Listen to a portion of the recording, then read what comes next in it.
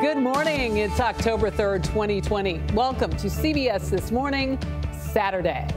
The president hospitalized. Concerns over his battle with COVID 19 forced President Trump to fly to Walter Reed Medical Center.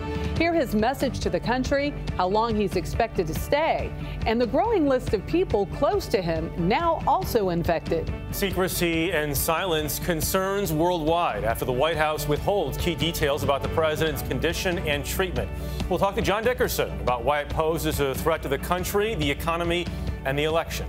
Campaign cutbacks with just one month till Election Day. The president's calendar is clear, while Joe Biden pulls negative ads out of respect for the president's condition.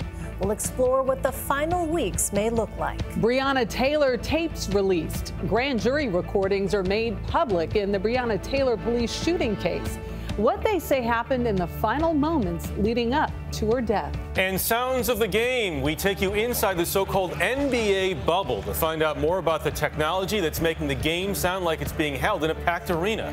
See how savvy technicians are pulling it off. And they are. But first, we begin this morning with a look at today's eye opener Your World in 90 Seconds. I think I'm doing very well but we're going to make sure that things work out. The First Lady is doing very well. The leader of the free world is in the hospital with COVID 19. The President of the United States flown to Walter Reed Medical Center. I'm not going to get into um, the President's symptoms exactly. He's had mild symptoms, but he is hard at work. Um, we're having to slow him down a little bit. The President's campaign manager and former White House counselor Kellyanne Conway are the latest from the White House to test positive. Well wishes for President Trump are pouring in from both sides of the aisle. Our best wishes to the President of the United States, the First Lady.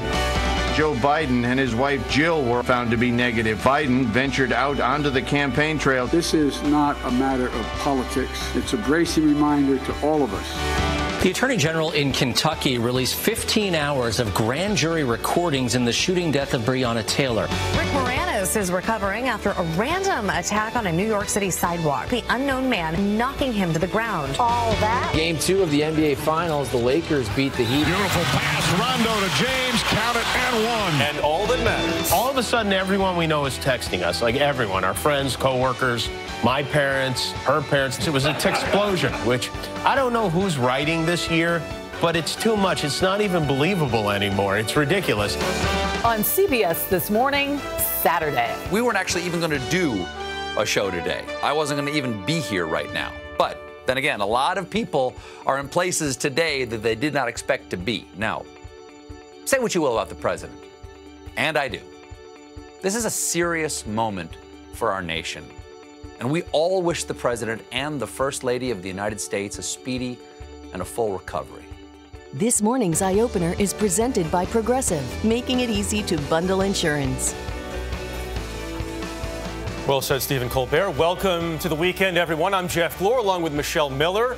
Dana Jacobson is off today, so we're once again joined by Elaine Quijano. Elaine, so good to see you. Thanks for having me.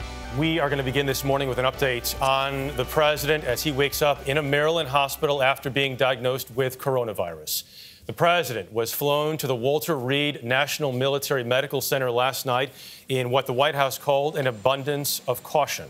Mr. Trump is said to be doing well despite being fatigued and having a low grade fever. His treatment comes as more members of his inner circle also test positive for COVID. Overnight, we learned President